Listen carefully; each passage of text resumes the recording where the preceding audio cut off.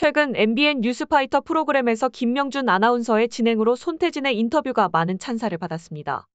손태진의 새 앨범 발매 소식은 그의 팬들 사이에서 큰 기대를 모으고 있으며 그의 음악적 여정은 가요계에서 그의 깊이 있는 입지를 더욱 공고히 하고 있습니다. 손태진의 노래들은 네이버 음악 차트 등 여러 차트에서 뛰어난 성과를 기록하고 있습니다. 김명준 아나운서는 손태진이 음악계에서 가지는 중요성과 영향력을 높이 평가했습니다. 손태진은 음악적 재능뿐만 아니라 작곡 능력에서도 인정받으며 그의 곡들은 감성과 스타일을 담아 관객들에게 독특한 매력을 전달하고 있습니다. 손태진의 소속사는 새 앨범 발매와 관련하여 팬들의 쇄도하는 요청을 받고 있으며 이는 그의 음악에 대한 뜨거운 기대와 지지를 반영하는 것입니다.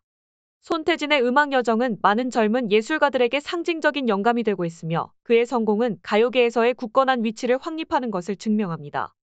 김명준 아나운서는 손태진이 음악에 대한 열정과 진심으로 관객들과 깊은 연결을 맺고 있다고 전했습니다. 이는 손태진을 다재다능한 아티스트로 자리매김하는데 큰 기여를 하고 있습니다. 손태진의 예술적 여정과 음악에 대한 끊임없는 탐구는 그를 가요계에 빛나는 별로 만들었으며 그의 새 앨범 발매와 전국 투어에 대한 기대감은 끊임없이 커지고 있습니다. 그의 음악은 감성적인 멜로디와 깊이 있는 가사로 많은 이들의 마음을 사로잡으며 손태진의 지속적인 성장과 업적은 음악계에 새로운 활력을 불어넣고 있습니다.